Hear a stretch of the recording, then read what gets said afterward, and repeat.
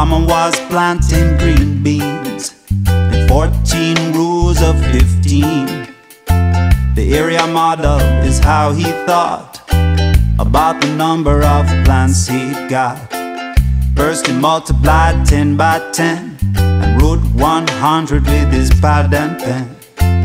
Then he multiplied 10 by 5 There were 50 more plants coming alive Then 10 times 4 equals 40 And just the bottom corner was empty. So he multiplied 5 by 4 And ended up with 20 more. Split up the place values in multiplication. Multiply the tens to get the foundation. Then the other place values get multiplied. Add the partial products up and check your work twice.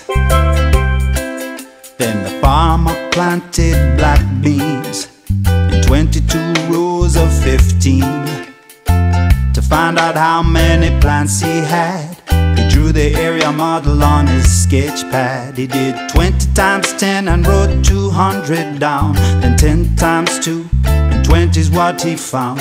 20 times 5 was 100 and then 5 times 2 equal 10. He added 200, 120 and 10. The sum was 330. He checked it again. So there are 330 black beans in 22 rows of 15. Split up the place values in multiplication. To get the foundation. Then the other place values get multiplied. Add the partial products up and check your work twice.